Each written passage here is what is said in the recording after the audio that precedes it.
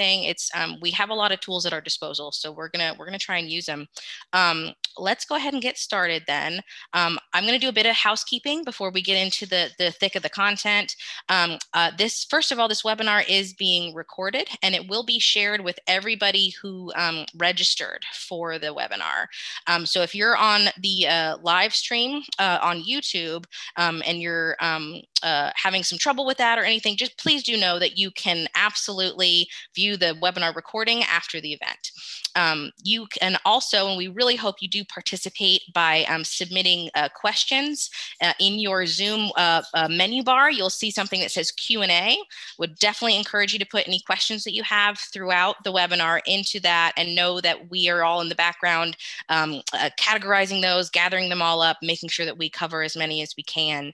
Um, and so um, I do want to make sure that folks also know where they can find the chat feature um, on Zoom. We did leave it so that folks um, will be able to see each other's chats if you um, opt to um, chat the entire audience. Um, just please do know that um, everybody can can see your chats if you if you do decide to do that. But we have had some feedback from folks that it's helpful to see what other people are saying and not just rely on on the panelists like us behind the scenes to relay all of that information because there's a lot of times with this size there's there's just no way to to voice all of that and sometimes y'all have some just absolutely fantastic ideas. So we wanted to make sure that y'all are um, able to see each other.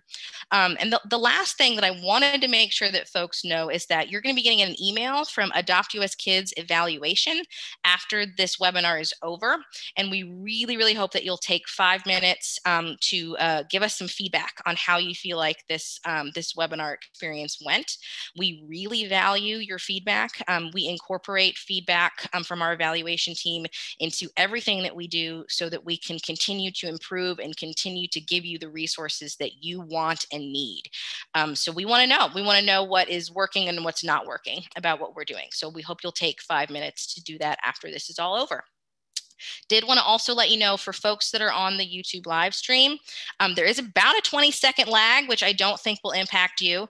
Um, uh, you also not be able to see the polls that we're doing. We're just doing them right at the beginning, so you won't be able to see those, unfortunately, but you can chat. Um, there is a chat feature on the YouTube live stream, and we have uh, Becky Tempest is going to be monitoring the chat from YouTube and bringing it over here to us so that you guys um, can participate in that way. Okay. Uh, and with that, um, I'm going to keep talking here a bit for a little bit, guys. Sorry. Um, I do want to let you know who Adopt US Kids is for those who are less familiar. So, Adopt US Kids is a national project of the US Children's Bureau, and we have a two pronged mission. The project is designed to educate families about foster care and adoption and to also assist states, territories, and tribes in the recruitment, development, engagement, and support of foster and adoptive parents uh, for children children in the foster care system. Um, those of you who may be most familiar with Adopt US Kids may be most familiar with our photo listing. Um, we have a national photo listing service that features over 5,000 children and teens who are waiting to be adopted. Um, we also have a national adoption and foster care information exchange system where uh, prospective parents can call and get some information and get linked with their appropriate jurisdiction. We also have a national adoption recruitment campaign um, with the most recent tagline, You Can't Imagine the Reward. You may have seen PSAs from the Ad Council from us. Um, we also have a capacity building team, um, and we are uh, so this this webinar is actually a function of that second part of our mission right um, and this um, our capacity building team provides system specific assistance, uh, say that three times fast, um, to uh, states, territories, and tribes eh, who are in need of any uh, specific support related to anything within our mission. Um, we are also, we also have a family support team that Mary and I are a part of, and we develop resources like this webinar. We also produce tools and tip sheets um, to help systems implement and improve support services that they offer to resource families. And last but certainly not least, we also have a minority professional leadership development program um, for current and emerging leaders in the adoption field who are um, uh, racial and ethnic minorities um, to become transformational leaders. It's a really awesome program. So um, with that, let's, let's dig into why we're actually here. Um, let's talk about some of the goals we have for this webinar. We are gonna briefly discuss how grief and loss affects adoptive foster and kinship families families, but I do want to make sure that we're focused on solutions. And so we're going to spend just a little bit of time talking about how it actually impacts them and move quickly into how are we addressing those needs that they have related to grief and loss. Um, and so we're going to do that by, um, that's why we have Lisa on here to talk about how the NTI curriculum uh, incorporates grief and loss into, um, into the curriculum itself. She's also going to demonstrate a little bit of that for us. Uh, we are also going to highlight a couple of program models that incorporate grief and loss education and support really effectively. Maybe you can take some, some tools from that and we're also going to offer you some concrete strategies to help you, um, even just as you leave this webinar today, to help you incorporate grief and loss education and support into your programming for foster and adoptive and kinship families. Um, so let's get us started with an audience poll. We actually have three polls. So if you wouldn't mind, uh, well, Dallyn's going to launch the poll for us. The first one is we would love to know what drew you to this webinar. Uh, what what was it about this webinar that you found um, uh, was going to be relevant uh, for you. So um, have a couple of different options there. You can check as many as you want, um, check all that apply. And obviously, this is not an exhaustive list, but I, am really interested to know because um, we had, a, a, as I mentioned, a, a, lot of interest in this. And I think that that's so great. Um, so we're really interested to know what folks, and y'all are doing so awesome. Vote, vote, vote, vote, vote. Um, and we're going to share this when we've had a fair number of folks who've um, answered that question here. So let's see.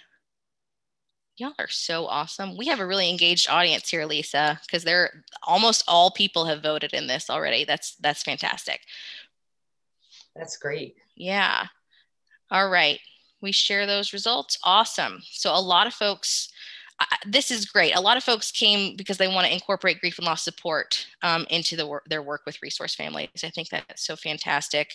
Um, I'm also really um, encouraged by people wanting to hear about um, different programs that are already working. I know that that can a lot of times, um, a lot of times when we're talking about the different programs that are already happening across the country, it can feel like comparing apples to oranges sometimes.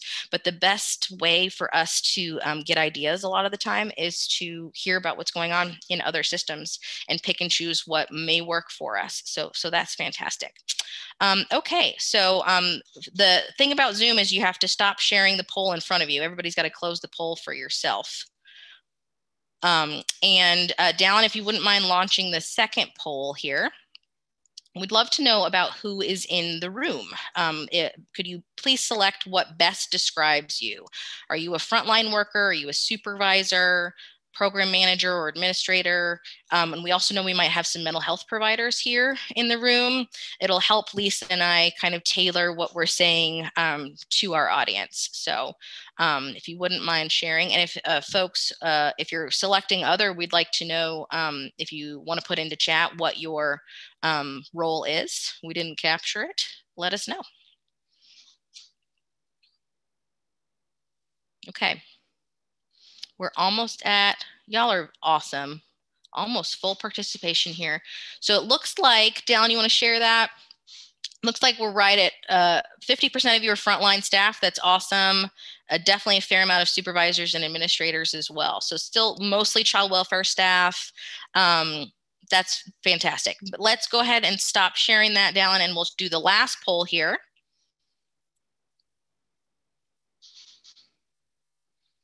All right. So uh, I'd love to get a sense of how folks are feeling about your current understanding of how grief and loss impacts and affects resource families.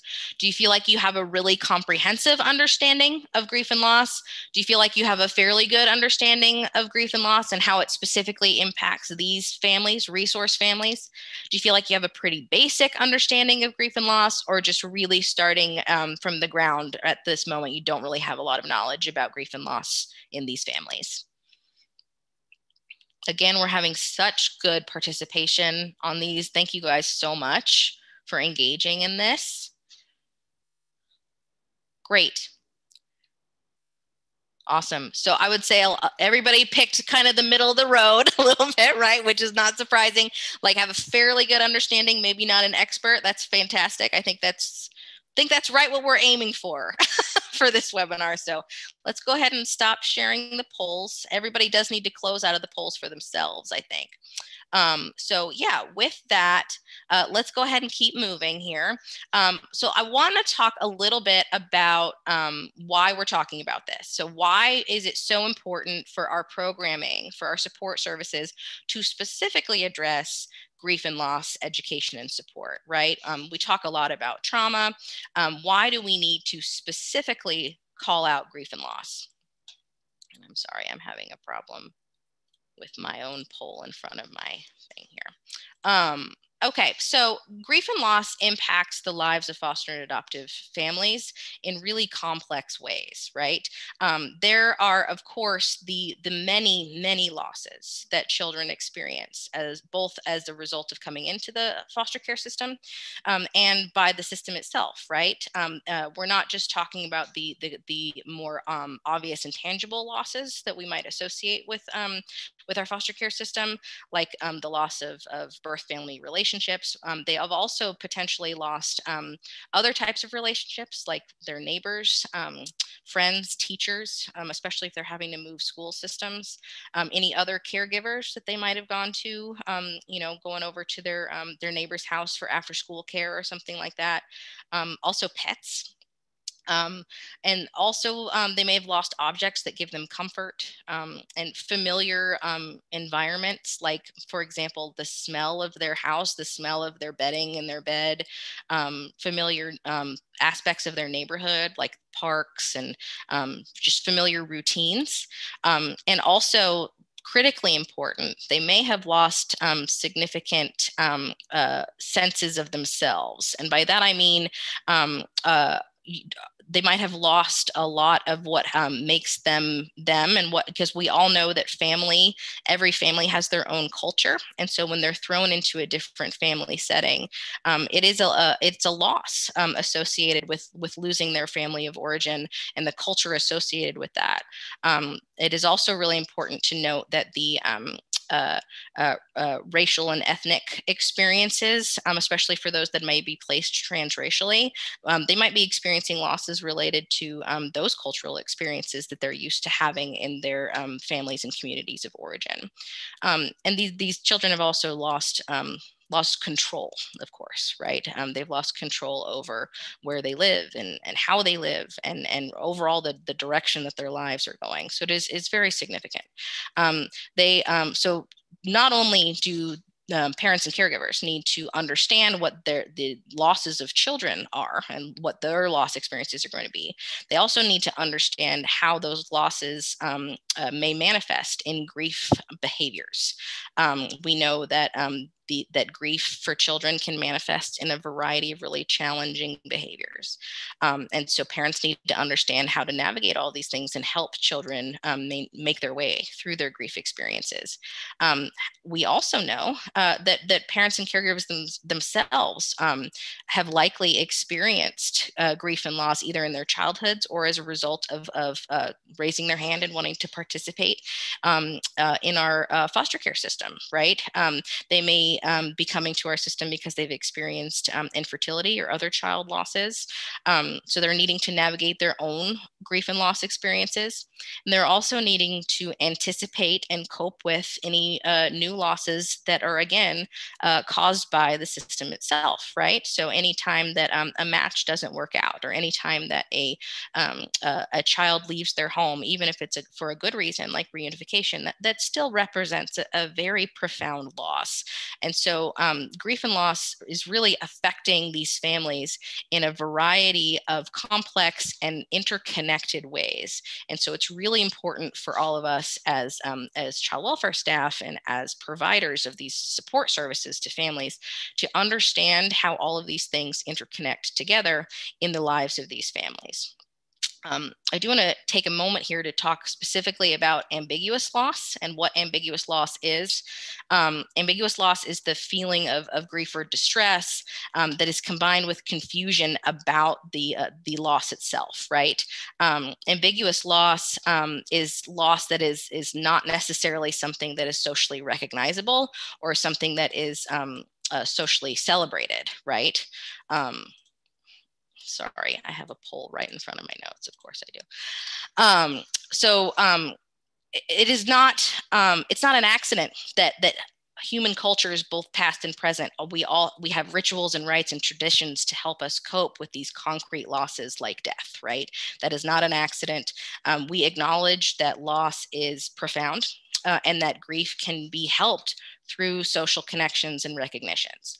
Ambiguous loss, though, um, can often go unnoticed by others, and the resulting grief um, can go unresolved as a consequence of that. When, when we don't have social recognition, when we don't have these rites and rituals that are associated with loss, when we can't openly mourn, and when our loss isn't socially supported, it can be especially challenging for children to move through their grief experiences and move through to the other side and, and heal from those losses.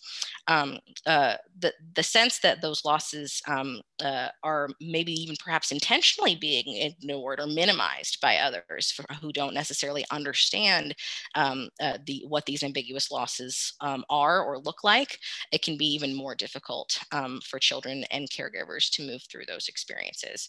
Um, so foster and adoptive families families, um, they need to be sensitive to the role that ambiguous loss plays in children's behavior um, and, and create opportunities to show those children that their losses are significant um, and important. Um, and then also at the same time contending with their own ambiguous loss experiences. So I just wanted to take a moment there to, to call out how important ambiguous loss is within this context. Um, so by its um, very nature, um, uh, the fact that folks are involved in the child welfare system means that parents, caregivers, and youth are going to experience significant loss, both in the past and are extremely likely to experience loss in the present and in the future as a consequence of our system. So, um, and these losses are, are very complex and overlapping. We have a responsibility to ensure that parents and caregivers have what they need to be successful in navigating their own grief and, and, and the grief experiences of the children and youth in their care. Um, so, as service providers, we must be well versed in the central and, and, and um, complex role that grief and loss plays for foster and adoptive and kinship placements in order to provide effective support services to these families, right? So to be successful, families need to, um, number one, be prepared um, to address um, the um, wide range of grief and loss experiences that their children are going to experience. And they also need to be supported in helping those children through those grief experiences and supported through their own grief experiences as well. So it, it's just really important, and I appreciate everybody being on here today. Um, so with that, uh, I'm going to hand it over to you, Lisa, um, and to uh, talk about how the um, NTI curriculum can help us address this critical challenge. Great, thank you so much. So yeah, thanks, Britt. Um, NTI does incorporate um, loss and grief into um, our into our curriculum. Um, I'm going to start with a quick little overview about NTI, just, just to give folks um, who don't know about it an idea about what NTI is. Okay. Um, so Britt, I don't know if I have the slides to advance, the power to advance. I do, very good. Okay, great. So um, NTI was a five-year research initiative. It was funded by the Children's Bureau uh, through a cooperative um, agreement with the Children's Bureau and the Center for Adoption Support and Education. Um, our charge was to create a state-of-the-art web-based training for child welfare and mental health professionals and to enhance the capacity of professionals to understand and address the mental health challenges of children and youth in foster care, adoption, and guardianship. We had about 21 experts from around the country um, who had both professional and lived experience. Um, they were participating in the writing, in the development, in the review, um, lots and lots of review, lots and lots of hours to create and implement NTI across the country.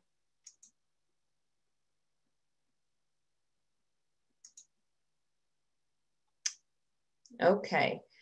Um, so NTI is a free, um, free, free, free, free. Uh, it's I, I, often get the question like, how free is it and what's the catch? Um, because it was funded by the Children's Bureau, it is free and will be free in, perpetu in, in perpetuity. Um, it's just chock full of tools and resources to enhance casework practice and clinical practice. Also, uh, many of the tools and the resources can be easily downloaded and shared with families and children. So um, lots of really great resources in there.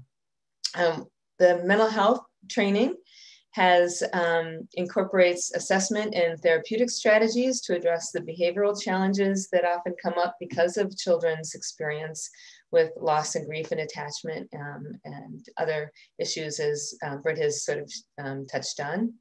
And we wanted to create a shared language for child welfare and mental health professionals. So we're all speaking the same language so that when we're talking about a child or a family, we're, um, we're figuring out how to share that conversation in a way that makes sense for everybody.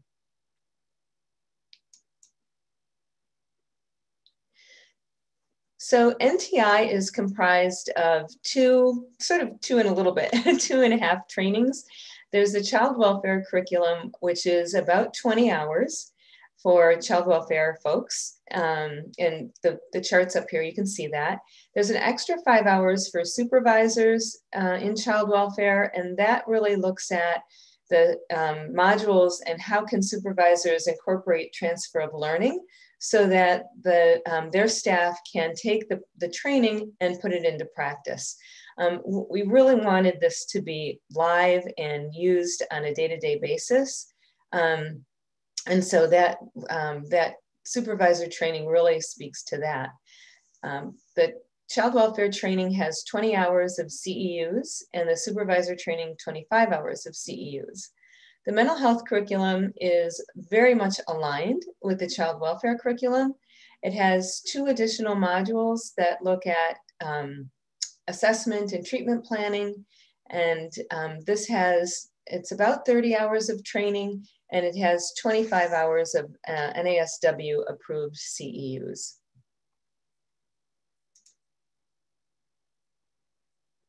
Here's a list of our competencies. Um, again, this is, um, uh, these are all embedded in the trainings, these core competencies uh, loss and grief, trauma and attachment, diversity. So they're all some specific separate modules, but also interwoven throughout the entire curriculum. And if you are interested in seeing the uh, competencies and the learning objectives in more detail, we'll sure put that um, links to the NTI website in our, um, in our chat box. And probably a couple of times because the chat box is moving quickly, I can see. Okay. So how does not having an understanding, not having adoption competency, how does it affect your work? How does it affect your work as a child welfare professional, as a mental health provider, um, as a supervisor? What happens to kids and families when there's not a great understanding of the issues um, that are really unique to adoption? So think about that for a second. And we're going to watch um, a short video. This is Deb Shug. She's an adoptive parent. She was um, really helpful in getting our, our training um, so that people can understand why it's important.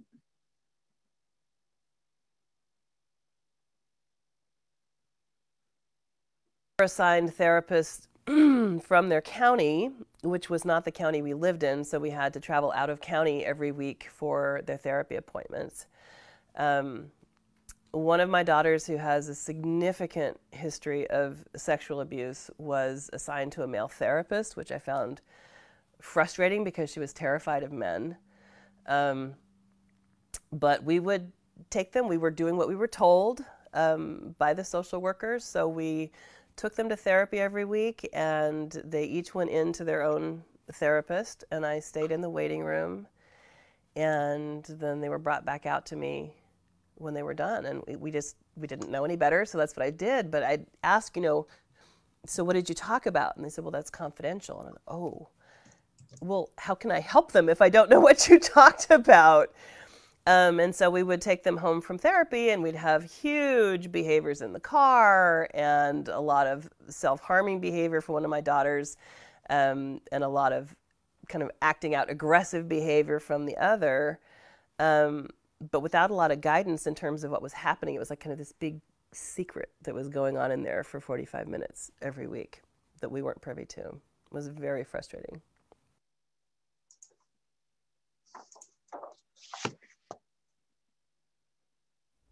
Hello, I'm Debbie Riley, CEO of the Center for Adoption Support and Education CASE. I'd like to welcome you to a- stop that one, Britt. Thanks. I guess it just uh, goes right to the next.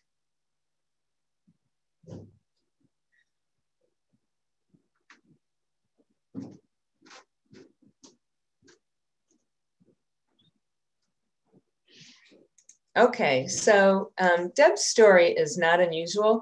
And for anybody who's been working in this field for any length of time, um, I'm sure you've had that experience. I, I, certainly have in my, in my work over the years. Um, and I also, I didn't mention, I am an adoptive parent. And so I've noticed that with my kids too, having to educate the therapists or the, um, the child welfare workers is often very frustrating. And it's not really great for the kids either, right? So um, we're going to talk about what we learned in our pilots. Uh, this was an evaluation grant, and so we did have um, some tools built in, and uh, we'll share with you. Let's see here, um, what we learned. So first I'm going to show you our pilot sites. Um, this is a list of the nine sites that we piloted in across the country. Um, the, the sites were selected for diversity um, in terms of urban and rural, county run and state run, uh, child welfare systems, and the diversity of population in terms of race, culture, socioeconomic um, status, and so on. So um, we really wanted to see a very um, a very good diverse cross section of um, sites so that we can get some really good information from them. We tracked knowledge gains across our pilot, sites by looking at pre and post test scores. Uh, every module has a pre-test and a post-test, and you have to complete the post-test uh, with a score of 80% in order to move on. Um, as you can see here, that um, the child welfare uh, professionals findings, um, the, the lowest score was in the um, area of loss and grief. We were really surprised by this. We, um, we didn't anticipate that. And um, neither did neither did the pilot sites either, for sure. So again, thinking about how that lack of understanding um, impacts the um, having a little issue with so slide. sorry i'm having an issue with my computer i'm so sorry i'm going to get okay. it going back again all right I thought maybe that's why I was hearing the siren. Probably, right?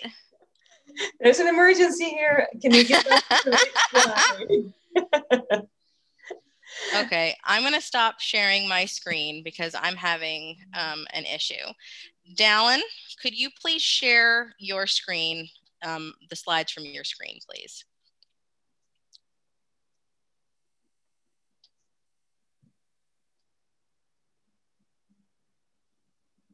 Sorry, everybody. Best laid plans of mice and men, right? Yeah. Hey, this is what happens with um, with webinars and live streaming and online stuff. It's where we are today, right? Yep. Yeah.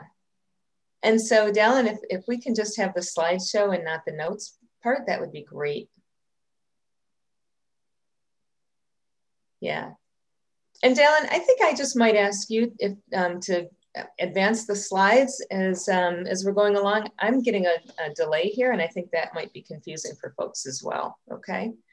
So again, the, the impact of loss and grief was um, was the lowest scoring module with the greatest knowledge gains, which is a good thing, right? But it really showed how important um, our focus on loss and grief is, um, and for sure how important loss and grief is for um, in, in, part of this training. Okay. Um, okay, next slide. Great, thank you. For our mental health professionals, um, as you can see, again, 80% is a passing score and um, on our pretest, and really had some challenges with our mental health professionals passing this pretest, with the lowest module being on attachment and child development. And again, really important for us to look at when we're talking about serving children and families in adoption, kinship care, and guardianship care. Okay, and um, Dallin, so I'm seeing that in the chat that people can't hear. Okay, you can hear. All right, cool. So some technical issues. Great. Okay. So how do you think this under, lack of understanding impacts folks? Yeah, so professionals working with children and parents have a critical role in helping children understand and tell their stories so they can have a better understanding of what happened to them and why. And also to um, have real honest conversations about um, why they're why they're not returning to home if that is the case, right?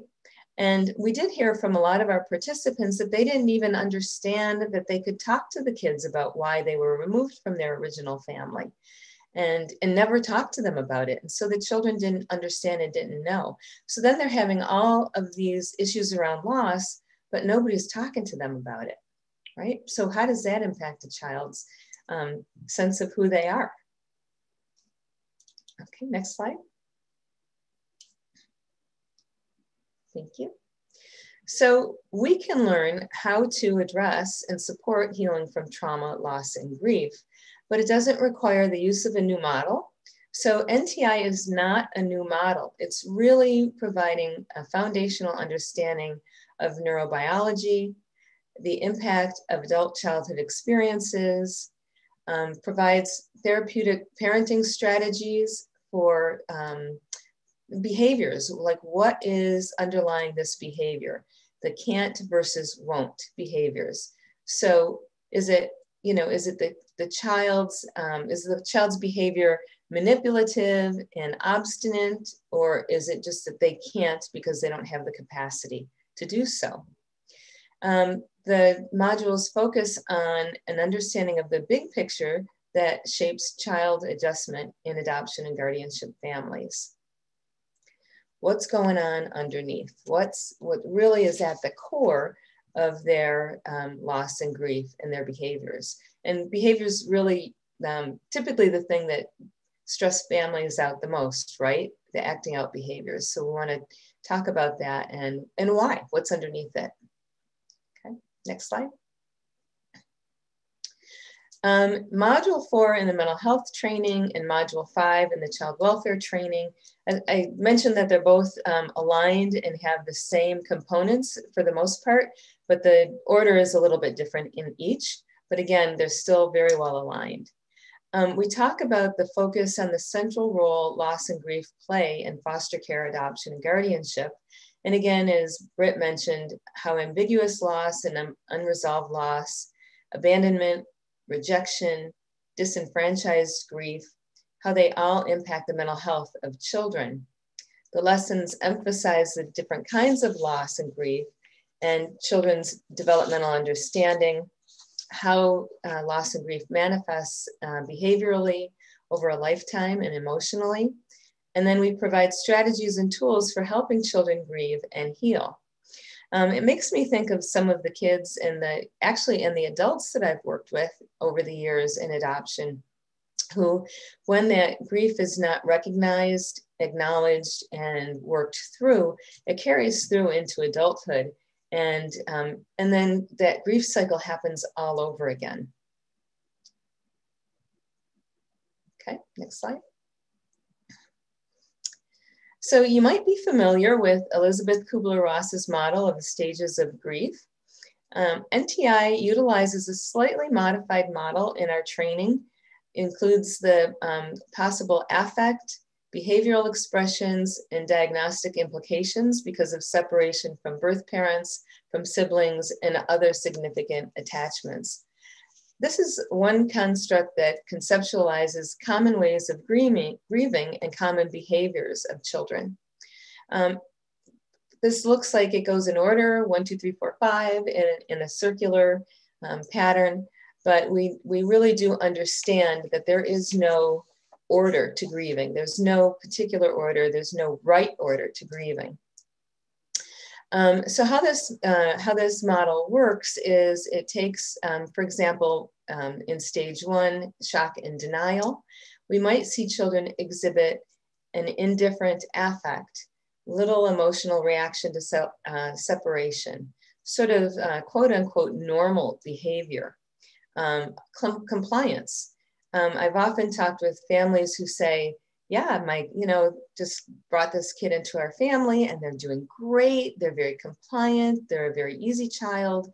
But oftentimes that really is a, um, an indicator of that loss and grief and that total sort of shutdown. Um, in stage two, anger or protest might look like tantrums, angry outbursts, right? Those are the real outward expressions of anger. It also might manifest as being completely withdrawn and shut down and sort of a, a simmering anger under the surface, maybe lying or stealing, um, breaking toys and objects, things like that, refusal, refusal to um, comply, as well as eating or sleeping disturbances. So again, sort of overlaying um, this new model on um, Kubler-Ross's model of loss and grief.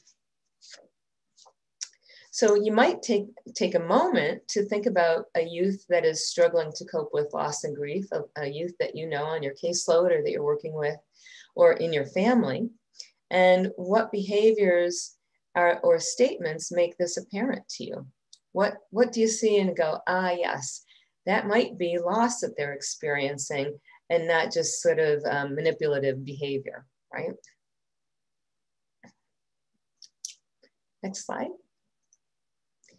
Uh, this is a brief video. I, I think I mentioned we incorporate a lot of videos, a lot of interactive activities in uh, the NTI uh, curriculum, and just uh, makes it a little more, um, a little more interesting, I think. Let's play that video.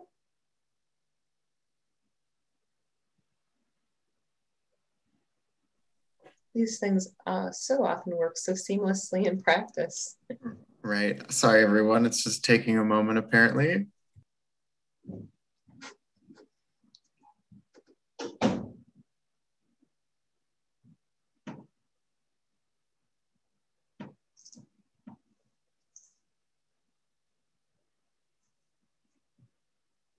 click on that.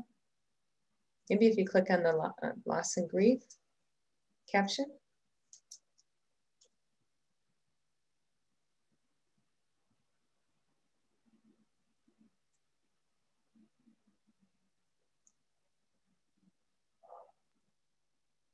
And so, you know what, Daryl? Maybe, ah, okay. Here we go.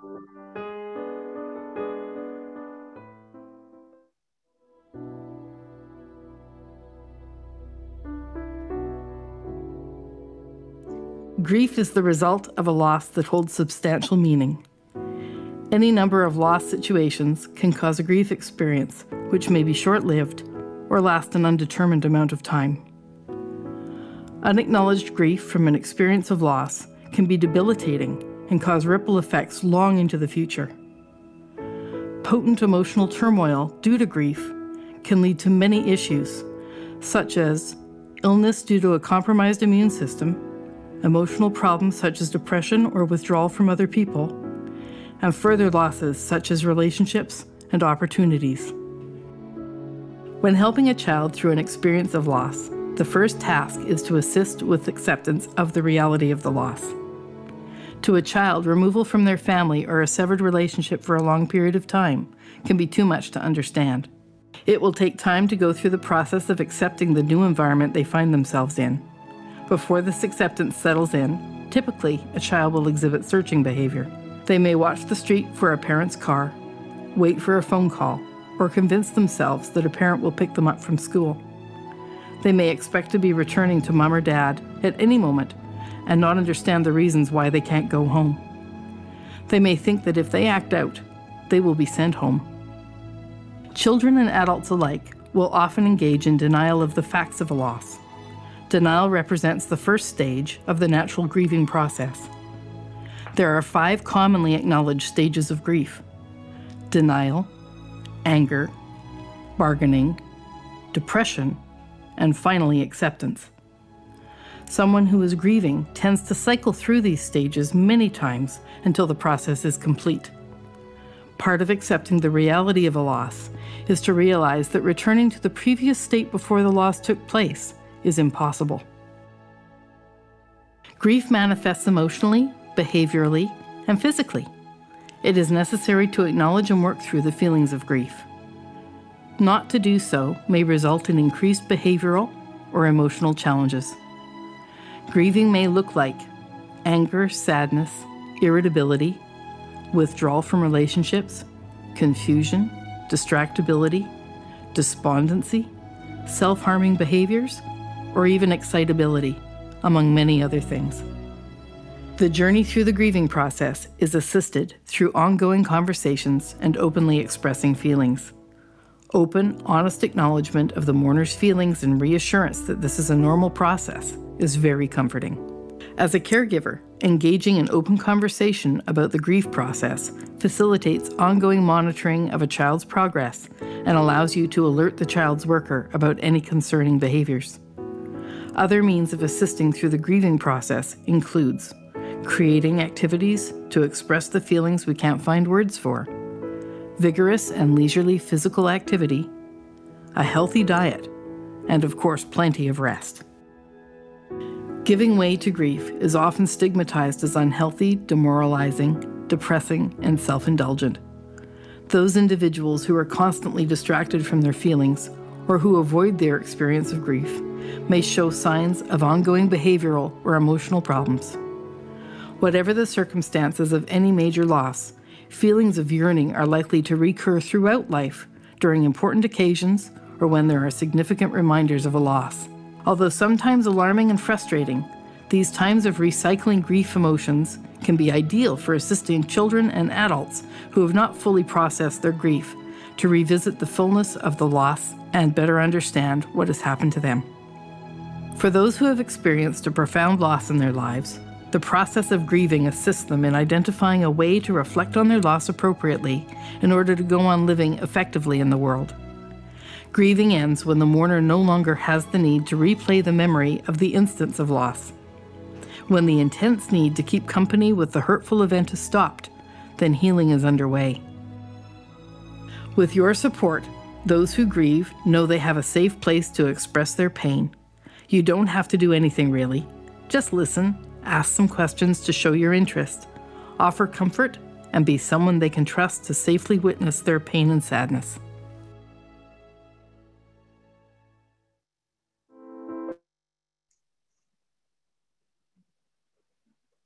Thanks, Dallin.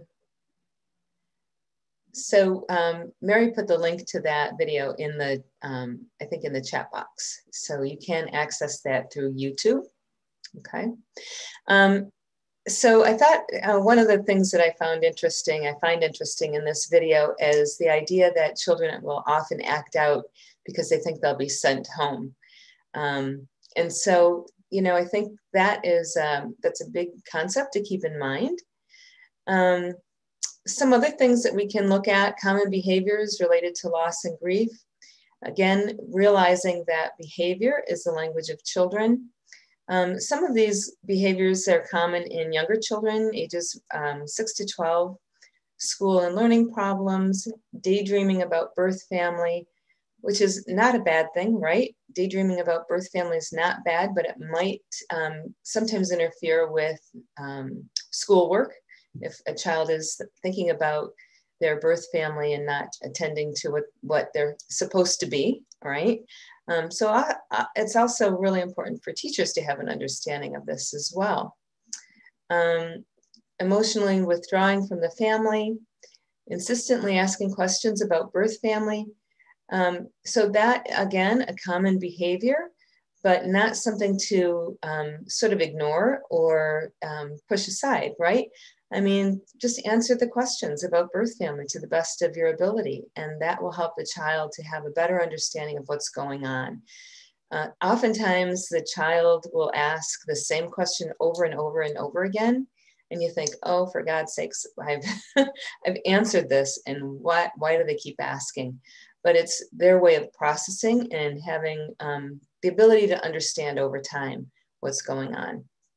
Okay. Um, so loss and grief in adolescence looks a little bit differently. Um, they might deal with loss and grief um, by turning to risky behaviors, um, acting out, um, you know, looking at being, um, doing things to, again to get sent home or sent away because their their loss and grief gets in the in the way of attachment and and makes them worried about losing again. Um, children placed transracially may adopt stereotypical behaviors associated with their race or culture to test the adoptive family, or because they don't really have any uh, connections to a supportive, healthy uh, identity. Some children exhibit anger to create distance and avoid vulnerability, right?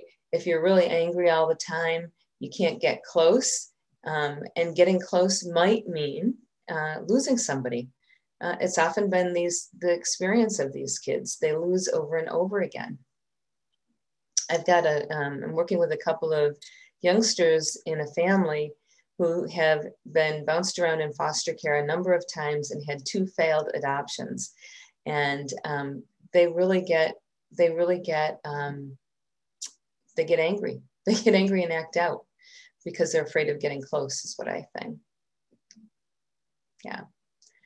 Okay.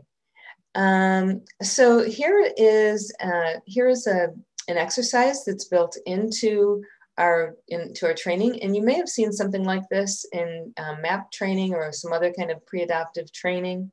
And it looks at the impact of ambiguous and unresolved loss and, and grief on emotional attachments. So this in this uh, exercise, you start with making a list of 10 items, right? You're taking a, a few minutes in this scenario. You're moving and you won't be returning and you're not sure where you're going. Moving out, you're leaving your home. You're gonna like, you've got 10 seconds to figure out where you're going. The truck is packed outside your home and you've got a very brief time to um, make a list of items that you're gonna bring with you.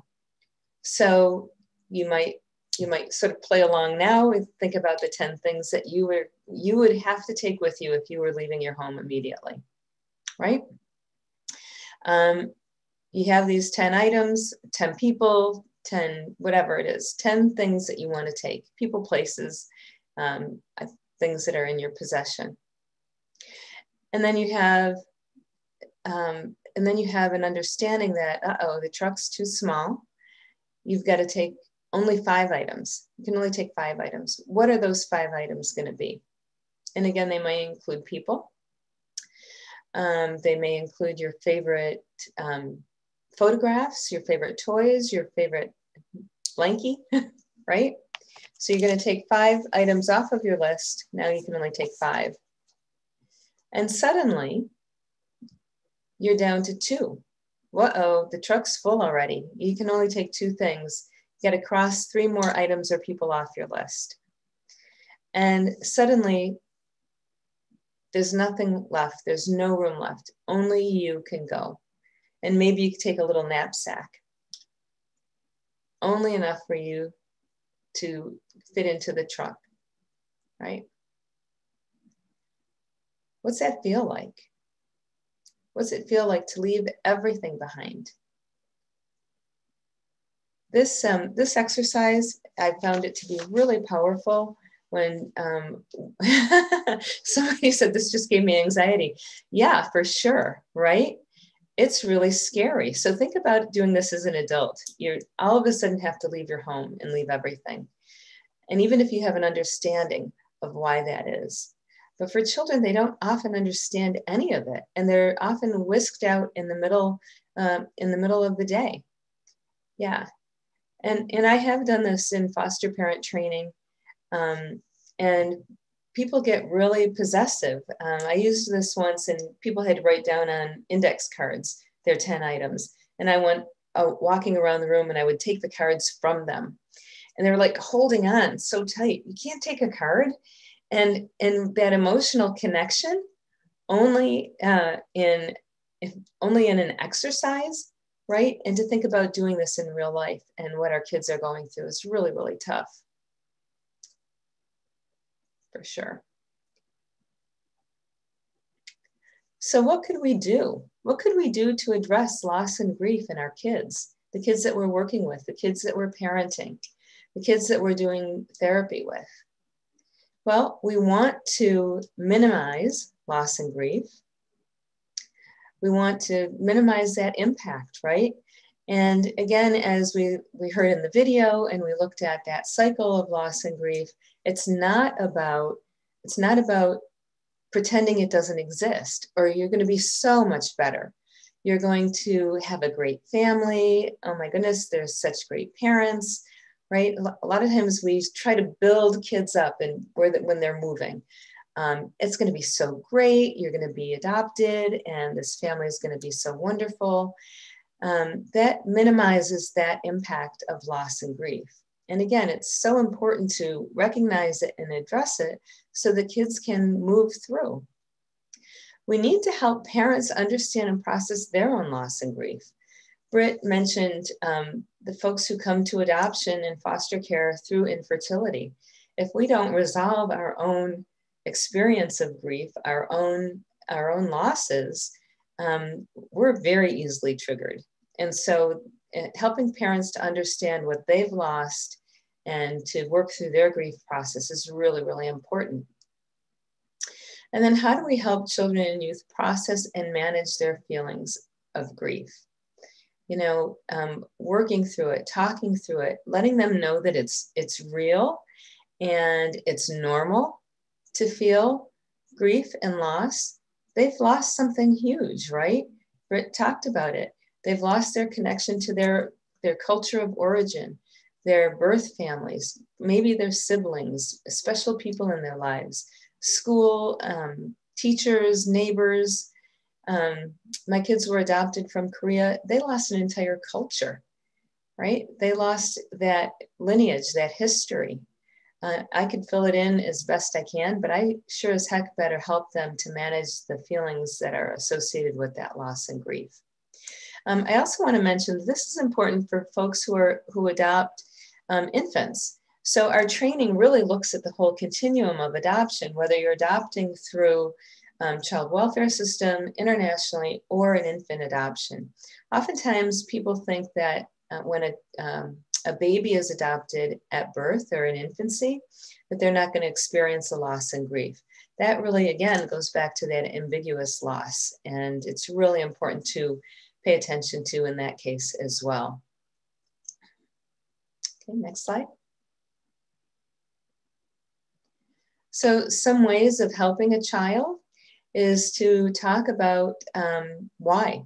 Why were they removed from their home? And, you know, we can talk about safety issues and um, and maybe their birth family was just not able to care for them taking it out of the child's fault right and but helping them to understand the why is really really important telling the truth um, it's the kids' story. It's their story, it's their history. It's really important that we tell the truth and not try to gloss over it and make it better. Encourage questions. Let the kids ask that same question a thousand times. You know, it's it's frustrating and we get tired of saying the same thing, but kids have to be able to process cognitively and that cognitive understanding of their loss and grief changes over time as they develop and become more um, able to understand. Um, the use of a life book is a great tool, and we talk about that in NTI and give some really good um, examples of how to do that and um, links to resources as well. And again, understanding your own feelings so that you can help them process. Um, gosh, years and years ago, uh, Ken Watson, who is um, a national, international expert in adoption, um, told me you just have to be there with the child. Sit on the floor and cry with them if that's what they're doing. You have to be there to hold them and help them understand their own grief.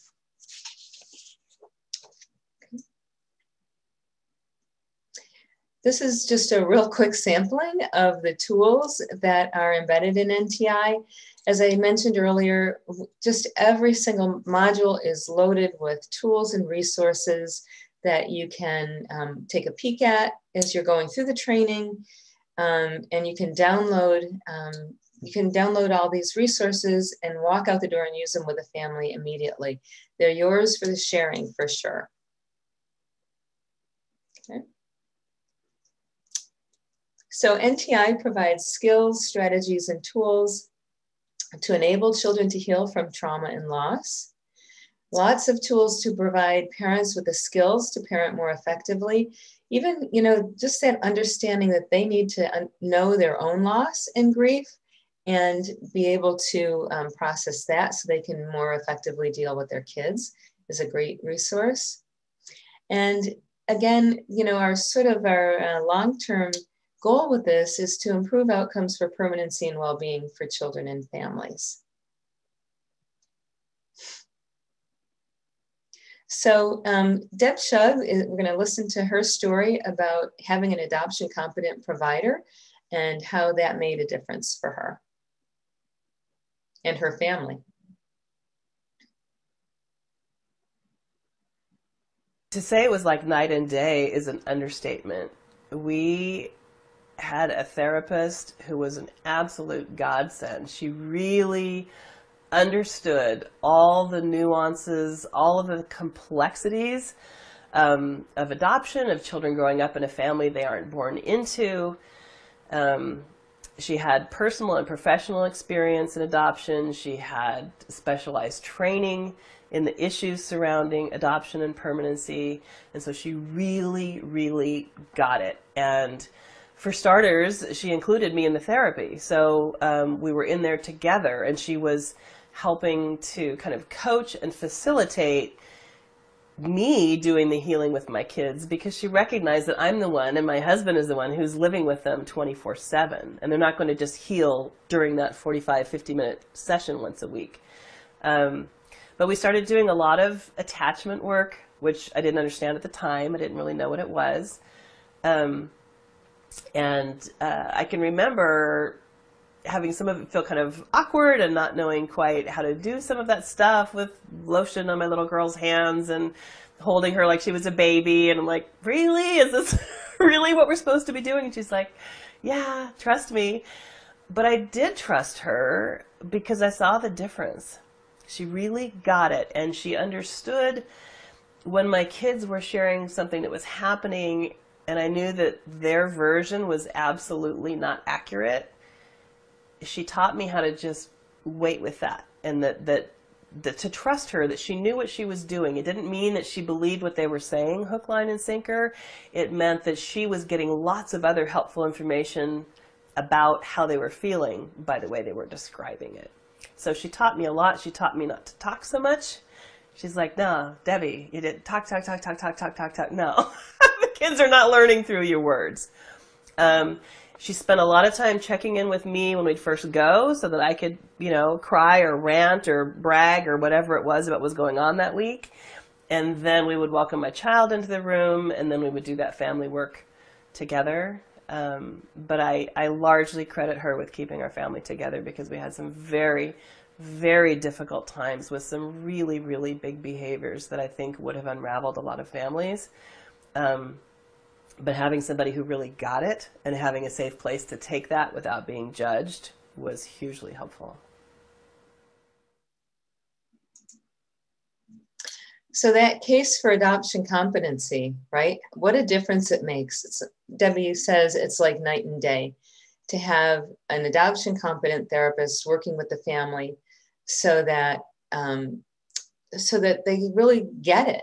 They get what's going on in the family bringing the, the family into therapy is so critically important. We can't, you know, quote unquote, fix kids, and we don't need to fix kids. We need to give families the tools to address the underlying issues for um, their children, for sure.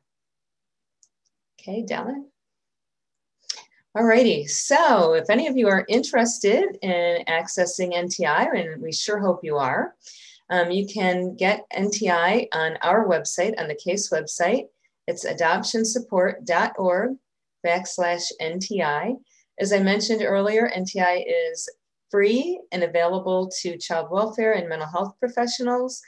Um, this is, it really does focus on um, the professionals. It's not designed for families. Um, again, I mentioned all the tools in here are certainly um, free for you to be able to use with families. If you work for an agency and or an organization that would like to embed NTI in your training milieu, you can certainly do that. And there's a button for access for organizations. Um, if you have any questions about any of this, I'd certainly be happy to um, answer any of your questions for sure. Hey, Lisa, this is Mary. We do have a couple of questions. Um, some are specific to NTI, some are a little broader, so I don't, we'll see.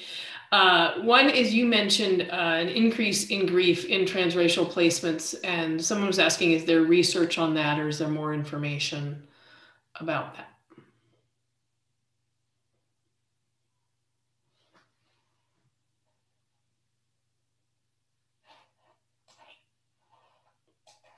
Uh-oh, did we lose Lisa? I think so.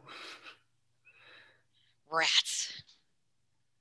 Okay, um, Britt, let me ask, I'll ask you yeah. a question that came in is, um, right.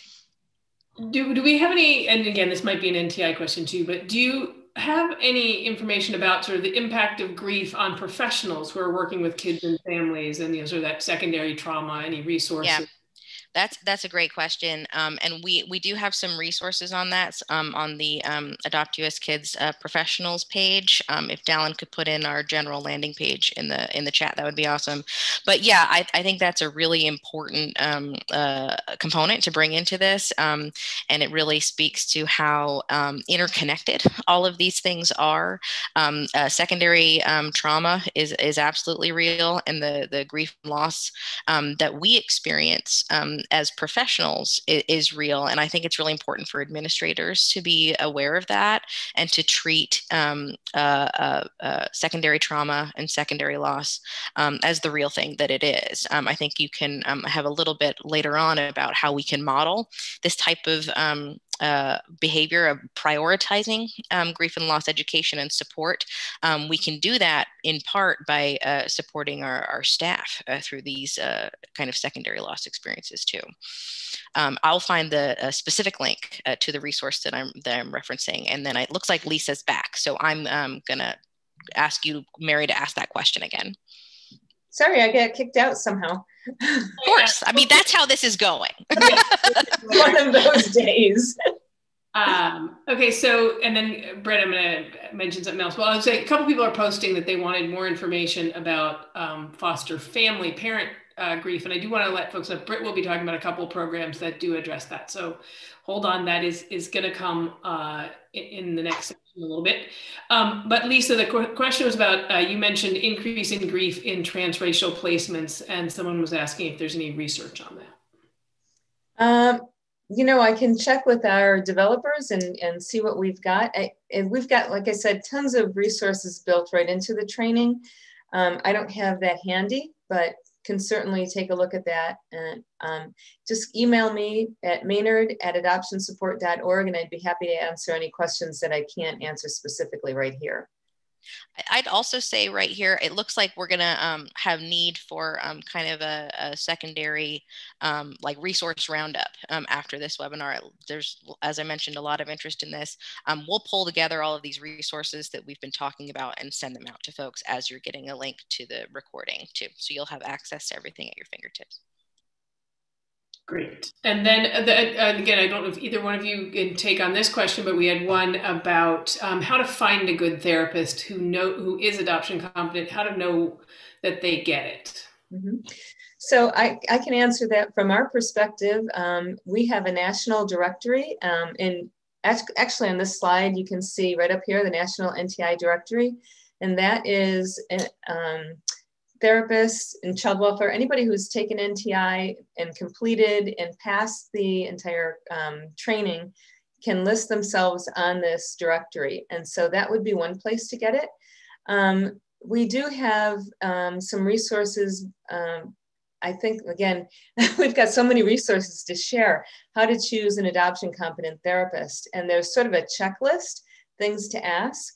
So, you know, I've heard therapists in the past who say, well, I get loss and grief, and so I could do adoption work. And that's just, it's simply not true in my experience. It, loss and grief is very unique in adoption. And Britt has talked about it as well that ambiguous loss, the loss of culture, the loss of origins, the loss, there's so many losses, it's so much deeper than um, even if you lo- lose a parent to death as an adult, you know, I mean, it's a very different thing. So um, taking a look at that would be really important.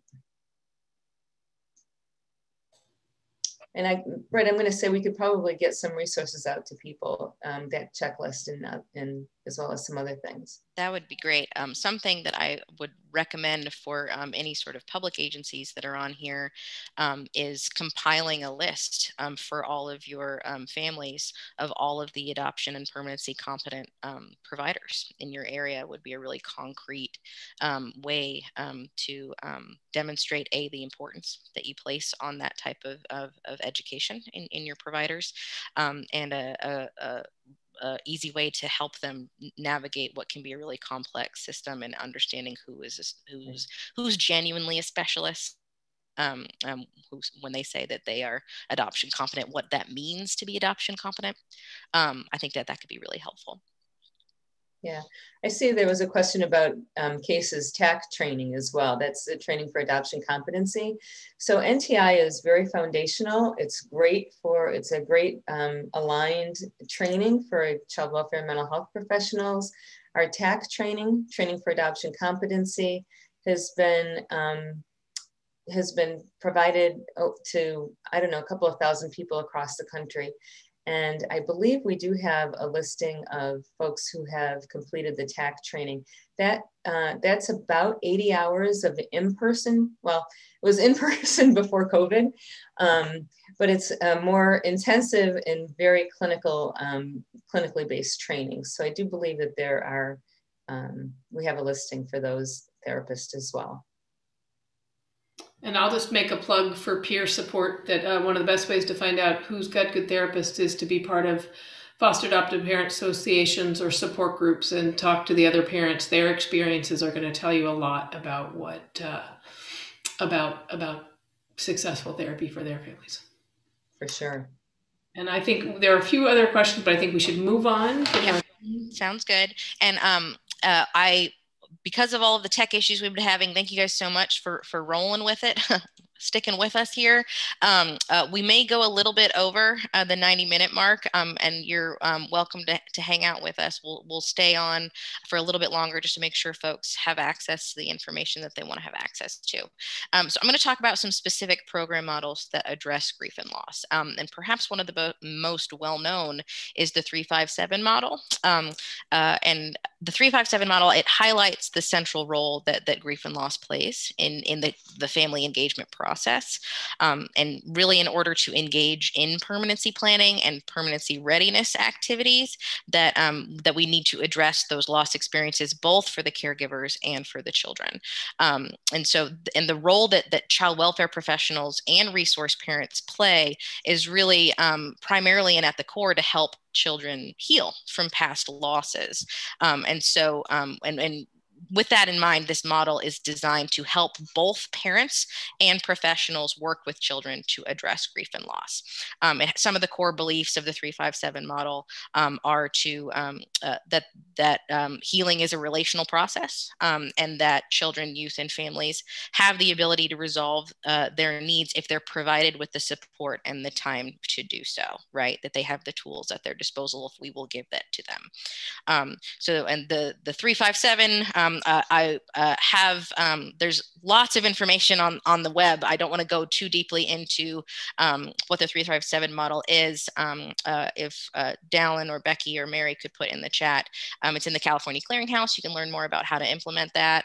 And there's also a great article on, on uh, nacac.org about how specifically it addresses grief and loss.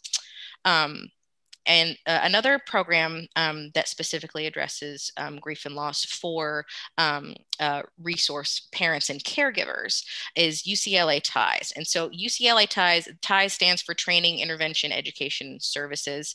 Um, it's through UCLA, so it's in Southern California, um, providing um, uh, uh, adoption preparation and support in, in that area of the country. so obviously the program itself is very large and it uses a lot of different strategies to support families uh, before, during, and after placement And so I wanted to specifically hone in on, though, um, the one portion of the program, um, which is called the Loss Intervention for Families in Transition. And so that program, it specifically um, uh, provides short-term grief counseling and grief support group services to families who are facing um, uh, the imminent loss of a child or a youth through reunification um, or have already um, had a child leave their home through reunification, right? So I, I thought it was really important to highlight this particular program program um, model and the way that they specifically um, plan for this very specific um, transition period right um, that we know that many many families are going to experience right? Reunification is is what foster care is meant to do. This is a success of the foster care system um, but it also represents a very real loss for um, for foster parents and kinship caregivers um, even even for those caregivers that are um, working alongside us for reunification and are just as happy as anyone else is to um, see that child return to their birth family. It's a it's a happy experience but it also represents a loss. And so that goes back to what about earlier about how complex all of these feelings are and how all of these are, are interconnected together. These feelings of, of joy and sorrow and um, and um, uh, gain and loss and all of these things it can it can um, leave folks without the appropriate resources and support um, feeling like that they um, are being selfish for grieving during that period in time that they're um, that they're doing something wrong that they a lot of folks may find that I need to I can't do foster care anymore right? We, we worry so much about retention, um, uh, about how we can keep families after um, uh, challenging experiences. This is a challenging experience that we know many families are going to encounter. And so this is something that this particular program has really built into the fabric of their um, uh, support program. And it is the um, these enhanced supports around this particular time um, in, in transition that families are going to experience. So um, if you're interested in learning more about this particular program model, um, Adopt US Kids um, has a comprehensive uh, program profile um, on the um, on our website. Dallin, if you wouldn't mind putting that into chat, that link into chat. it's also, I'm going to talk a little bit later on about our uh, Support Matters guide that has a lot of program profiles in it. but I just wanted to highlight that specifically. Um, and in that same vein, um, wanted to talk about Project Revive. Unfortunately, Project Revive is no longer um, operational at the moment, but it was a, it was an excellent program out of um, uh, La Fiesta in New Mexico. Um, and um, Project Revive was a it was a statewide support project that sought to to help foster parents throughout the state um, normalize and recognize the grief that their families encounter as as uh, being a part and involved in the foster care system, right? So um, the services that they provided um, as a part of this project were um, training specific to grief and loss, support groups around grief and loss. They also had a, a telephone helpline and a private Facebook group. Um, and their entire theory of change really revolved around um, around grief and loss, right? They, they were saying that, that by identifying and processing their own grief, that foster parents will have an increased ability to accept and manage the behaviors of the children they are fostering and to work with the child's birth parents as well. Um, so by, by um, providing these very specific tools to help them navigate navigate these uh, grief and loss experiences, that they are going to be um, equipping and positioning foster parents um, to do a better job with our kids, to be, be able to better take care of themselves, and to um, be able to um, continue fostering so that we don't, again, lose uh, parents uh, to um, uh, uh, when we're not providing them support through challenging experiences. Um, so again, we um, we wrote another program profile on this program if you're interested in, in really digging into um, what that program was about. Dallin or Becky um, is going to put that into the chat here in just a moment. Um, that's another program profile on our Adopt US Kids um, website. Um, I did want to, I saw the, the question that Mary was talking about around, you know, um, uh, th this, uh, the content that we're talking about now, um, you know, uh, it really is important, I think, to recognize that the, the grief and loss experiences of the children and the grief and loss experiences of their caregivers are not separate. Um, uh, these are family units, family systems, and they're really interconnected um, together. And so, in order to understand one, you need to understand the other, and vice versa, and how they interplay together, right? So, uh, a, a caregiver who has unresolved grief, um, as Lisa was mentioning earlier, is going to have a much harder time um, navigating the grief experiences um, and the trauma um, uh, behaviors that um, that a child in their care is is exhibiting. They're going to have a, a, much harder time to do that. Um, and a parent who hasn't had the education around what a child is likely to experience in the foster care system related to loss and grief and what grief can manifest like for a child is is going to be much uh, more challenged um, in in in dealing with those um, particular challenges. Um, so now I, I want to pivot here and let's let's uh, get to some concrete solutions, right? What what and we've already Lisa gave a lot of concrete solutions, um, uh, but let's talk like what can you do, perhaps even today after you leave this webinar, what can you do right now to incorporate uh, grief and loss education and support into your programming for these families? Um, and the first thing that you can do is you can require staff and providers to complete an adoption competency training like NTI um, that um, has a this very important important grief and loss component, right? Um, for public agencies, um, you can ensure that your private contractors, um, if you use those, are, are you can ensure that they're providing adoption competent support services by um, actually requiring that training as a part of your RFA or your RFP, right? A lot of states do that. Um, you can also for those that you can't require for external um, uh, uh, staff for external mental health providers um, uh, I, I, would suggest compiling a list like we, we were talking about before um, to to highlight those providers that are adoption competent. You can check in with those provide with all of your providers and say that we're really interested in um, in the work that you're doing with families. We're really interested in referring families to adoption and permanency competent um, uh, providers. Um, and um, uh, Lisa already mentioned that resource that is on the NTI website um, that you can point folks toward as well. Um, that will really help you emphasize the importance for families and as they're selecting external providers um, in looking for that and looking and mm, understanding the importance of that. Um, something else that you can and absolutely should do to uh, to better um, incorporate grief and loss into your programming is is to make sure that it is a critical uh, part of your pre-service and ongoing training for parents and caregivers. Um, we're kind of hitting this over the head here, but ambiguous loss is is different, and the losses associated um, with foster care and adoption are inherently different um, than the um, more socially recognizable uh, loss experiences that are more widely acknowledged. Um, a uh, parents and caregivers they, they need training on on navigating this type of loss both for themselves and for the children in their care. Um, and um, we know that um, parents uh, that it's going to take a couple of times um, to hear this information. So adding it into your pre-service training um, and then um, being frustrated that parents then don't remember what you said at pre-service we really need to make sure that we are incorporating it into that that, that it's being said multiple times and that we normalize the need for ongoing education right to hear it one time and to and to hear it before i have any children in my home, any children who've experienced these complex losses, um, it's it's very different than actually living those experiences.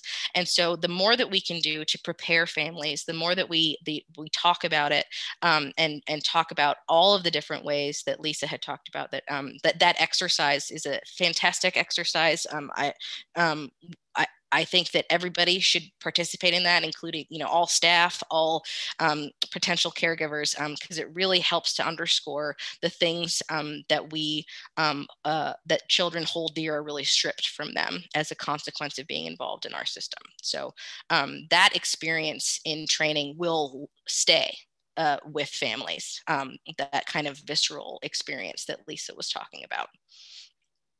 Um, you can also um, lead uh, discussions in existing uh, support groups around grief and loss. Um, we would definitely encourage you to do this both in groups for parents and caregivers and in any groups that you're holding or that independent groups around you are holding uh, for uh, children and youth, though those uh, discussions would be quite different. Um, I do want to mention here um, that Adopt US Kids has two discussion guides that you can take right now and use in um, any um, groups that you have. These are specifically for groups for uh, parents and caregivers on addressing uh, both parental grief and loss and uh, childhood grief and loss and leading a discussion through that.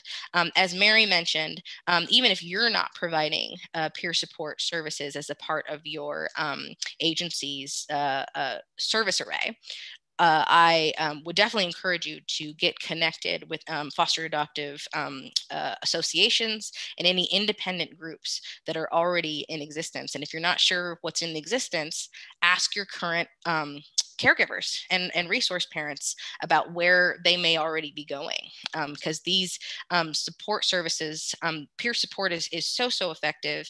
And um, uh, we have a lot of tools that you can use for this purpose ready to go right now. So that's a really easy lift to just kind of go ahead and incorporate that into um, your support groups that are already happening.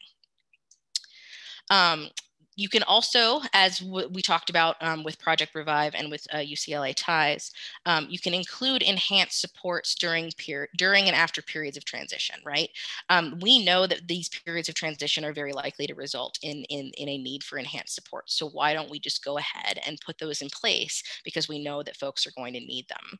Um, and um, the, the, ambiguous loss associated with many of the the normal experiences of fostering and adopting um, can make grieving even more even more challenging and even more difficult to name right? Um, uh, and we've talked extensively about a child reunifying. I think it also is important to think about um, how we celebrate adoption um, and you know like for example celebrating uh, folks gotcha day uh, for example it can be really really hard to understand um, why you're having both as parents and caregivers kinship caregivers and the children uh, why you're having these really complex feelings um, of both joy and sorrow um, at, uh, during a, a, time that we point to as a time for celebration. Um, and uh, there's really not a lot of cultural space dedicated to that this is also a time for, of loss. Um, so um, we know what those times of transition are already. We know them right now. We know when folks are likely to experience um, more difficulty. And so putting enhanced supports in place during those periods is a really easy, um, easy isn't the right word, but it's a concrete way that you can address grief and loss um, in your support service array. Um, and I, I, mentioned this already, but I, um, the, I cannot say enough um, that uh, bringing in is such an important way to learn um, about how your system is actually working um, and learn about the supports that you um, think you're offering versus the supports that, you, that parents are actually um, experiencing. Um, uh, these experienced caregivers, they are the, uh, the uh, experts on this, second only to the youth who have lived experience in foster care, right? So um, we should be asking um, our, our experienced caregivers about what their needs are related to grief and loss and what they think would most likely work if you're considering adding or changing or improving the support services that you offer um, eh, to your uh, resource families, right? Maybe you're thinking about starting a, whole separate support group specifically for um, families who've experienced um, a placement loss, right? That was one of the things that um, that Project Revive did. They had specific support groups around that.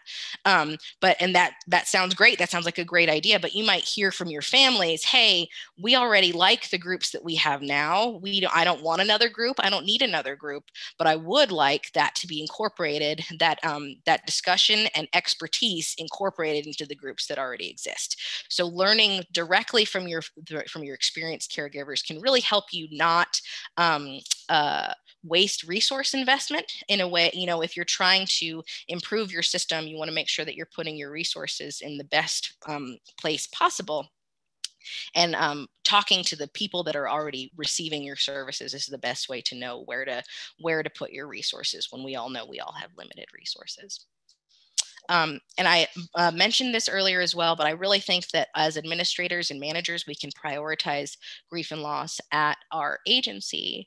Um, we can normalize talking about grief and loss for our staff um, and asking staff about how families are handling loss experiences. That models for them that specifically addressing grief and loss is important. And it also encourages staff to um, ask those same questions of families, right? And again, um, if even if you're training staff, even if all of your staff are, are um, NTI trained and all of that good stuff, we need to we need to reinforce training and we need to model how important all of um, uh, these components are. Um, and we can do that by, by talking more about it um, with our staff and talking more about it as, our, as an agency overall. Um, this, um, I would love for folks now uh, to type into chat, and I'm just so sorry for everybody who's monitoring chat because this is um, how does your agency address grief and loss with children, youth, parents, and caregivers right now? I would love uh, to hear what other folks are doing, um, and um, because you guys can see each other's um, chats, I'm hoping that that would be um, helpful um, in in seeing what uh, is already in existence right now, um, and what are what are you already doing. So let's see. Mary, I have trouble looking at chat while I'm sharing my screen. So would you mind sharing some as they come up? I will do my best. They have, uh, have training and they have internal therapists to work with kids and families. Certain support groups. Uh, somebody, some people aren't doing anything, unfortunately. Um, That's eh, hey, glad you're here. Segments of training on in pre in pre service training on post on on grief and loss. Mm-hmm. Um, a number of people are using three five seven model. Uh, Great. And then there's some uh, you know can, linking foster carers with one on one with therapists. That's great. Five seven. So um, definitely support groups. Mm-hmm. Oh, I love this. Somebody is uh, addresses it in supervision with their staff, which I think is as you. Oh, that's great. I love that. Yeah, that's great modeling. Fantastic. Awesome. And I, there's some referrals to outside programs and genograms mm-hmm. and eco maps help people address some of that. You know, take away some of that ambiguity. Yeah. Yeah, absolutely. Well, awesome. Thanks. Eh, were there any other questions that, that came in? Um, I know we kind of flew through the end of that here. I do have a couple of things I want to make sure that folks um, hear about, but I want to take some time for questions if there are any more. There are a couple of questions. Uh, there might be uh, tricky ones. So anyway, if people have other questions, please do post them. But one, um, one early on, I was asked, and I didn't get to um, was how can a foster parent tell if a child is suffering from ambiguous loss? And I would expand that how to a worker as well. Are there what are the ways to consider if it's ambiguous loss?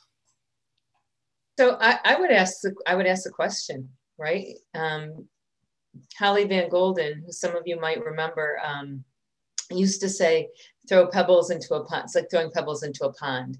So just you know, talking about your own loss or saying, gee, I wonder about, have you, have you ever thought about, or, um, you know, sort of taking the child and um, holding their hands, looking in their eyes and saying, gee, I wonder if there's something that's going on for you. Do you miss your mom? Do you miss your brother? Um, you know, again, sitting on the floor and crying with them. What's going on? You want to know what's going on and what they're thinking about. So just ask the question.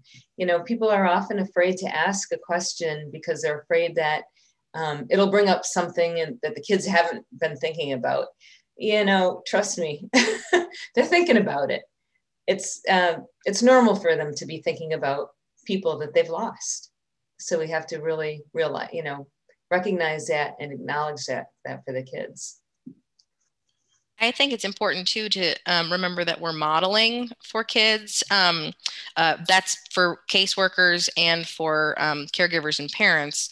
And um, it's it's important that they know that um, our feelings aren't going to be hurt um, if they are grieving or sad um, about not being able to see their birth mother or um, or whatever the circumstances are that it's not um, or that i you know especially in in, in transracial placements that i um, that you're not going to hurt my feelings um, uh, if you are um, feeling um, that something is missing from part of your um, traditions that you're used to experiencing that mom you're not you're not doing my hair right uh, you know and and not taking things uh, personally. I think i think that that is can be really really important especially for younger children because um, you know those the the issue of divided loyalties um, in in um, adoption and permanency is is so profound because um, uh, nobody wants to hurt their parents. Um, nobody wants to hurt them on purpose. And so we need to make sure that our kids know that you're not going to hurt me that that, that this that I want to give you what you need, um, and it is safe to talk to me about um, these things um, uh, about where you came from. So yeah. I think that's important. I saw I saw somebody ask about um, leaving the foster home, and you know whether when a child leaves a foster home, whether they're going back to their birth family or maybe to an adoptive placement. Um, one of the really cool resources in our training is the Good Goodbye letter and that is that helps to um, helps the the foster parent um, express to the child what they loved about them, what they enjoyed about them, what why they added to their family for the duration of their family, and also um, help the child to help the child say goodbye. And these these um, transitions that happen late in the day with a worker coming, you know, in an emergency situation um, that's a loss that often isn't recognized. The child doesn't know why they're leaving. They don't know what's, and then they internalize that as I'm so bad, right? And then, and that's not a good thing either. So, really having those conversations, and again, not being afraid to ask the question and and share uh, what you're feeling as well. Thanks, Lisa. And that segues into a next question. And I'll just I'll just say the other thing is that for professionals too, is there any reason they can't stay in contact afterwards? Can we talk about to the next caregiver about continuing some of that contact? So these don't have to be complete losses. Um, but that tied my answer just ties into uh, Deborah asked about research on open adoption and how that uh, impacts grief and loss. Yeah, sure. Um, open adoption is, um, there's a lot of um, anecdotal, I don't know about um, actual research that's been done on open adoption, that gives a child the opportunity to ask the questions directly, right? And so there is that ability to know where you came from and know why, which is usually um, an adopted child's biggest question.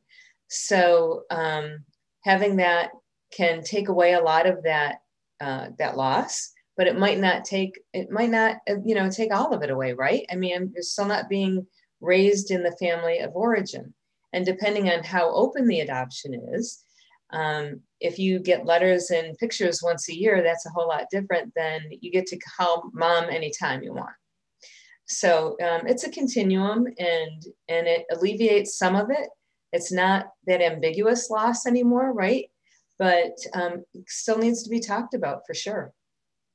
Right. And like all relationships, open adoption relationships change over time.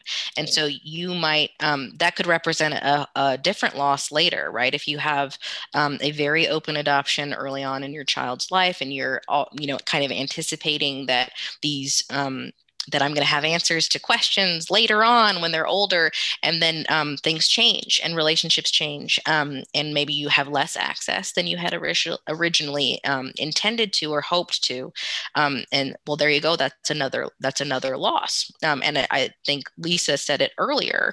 Um, I I think a lot of adoptive parents who adopted their children at very very young ages, if we aren't preparing them properly, can perhaps assume that um, these are uh, not necessarily the same challenges as those who were um, adopted at um, older ages or who experienced foster care, abuse, neglect, all of that stuff. Um, but they are um, they are still going to experience um, that ambiguous loss. It is uh, it is a core issue in adoption, and it is why we're having this conversation. Yeah, and Britt, that's great. And I would add to that um, that you know that talking to your child about about their life, their adoption, their circumstances from the minute you get them in your home, right? So I saw somebody ask a question about little, you know, very young children, two and three years old, to start talking about um, adoption and loss and grief and birth family and you know the whole gamut in an age appropriate way the second the child comes into your family it it does two things in my opinion it it helps to become more comfortable with that conversation as as an adult as a parent and it normalizes it this has been a part of our family from the beginning oh yeah i get that you've lost somebody so on gotcha day or a birthday to maybe um, light a candle for birth family, to acknowledge the birth family in that. It's both and it's sad and it's and it's happy. Um, so to recognize that it's recognize that it's complicated and start talking about it when it's um, when kids don't have the cognitive capacity to understand exactly what's going on, and then um, you become more comfortable with it over time. You know, the first time I talked about my my son's birth mother to him, he was four months old, and I cried through the whole thing. But but eventually, it got easier for me, and um, and I wasn't crying anymore by the time he was, you know, old enough to start asking questions.